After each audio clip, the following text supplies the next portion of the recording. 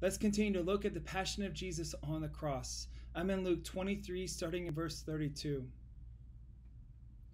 Two others who were criminals were led away to be put to death with him. And when they came to a place that is called the skull, there they crucified him and the criminals, one on his right and one on his left. And Jesus said, Father, forgive them, for they know not what they do. And we see in Scripture that in Jesus' final hour, in his weakest moment, as he's mustering up all the courage and strength just to be able to breathe, he's interceding for us. Jesus is praying on our behalf to God.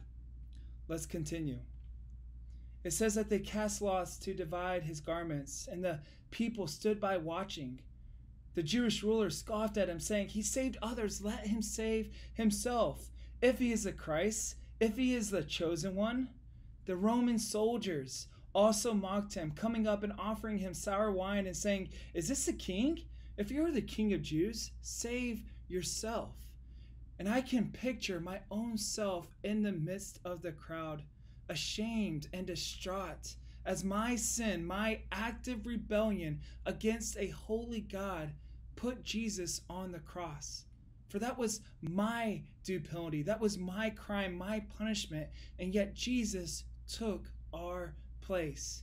Can you imagine Jesus on the cross hanging up there, looking down on the people, the people that he created? You would think there would be anger, wrath, hatred, uh, towards his enemies, towards those who place him on the cross, for that would be justified. But, church and anyone watching, I believe that in Jesus we see perfect love. He's loving us as his eyes fix on each one of the people there at the cross. For I can imagine him thinking, I'm dying for you, for unless I die, you can have no part in me. And so, yes, I can save myself, but for your sake, I came into this world born to die so that you might live forever. So, Father, please forgive them, for they know not what they do. Let's continue in the rest of the paragraph.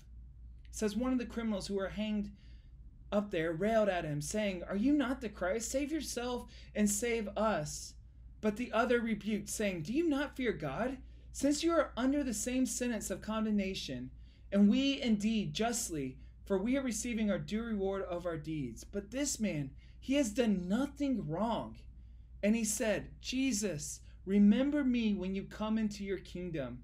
And Jesus said to him, Truly I say to you, today you will be with me in paradise. Ah, this is great news for us, church.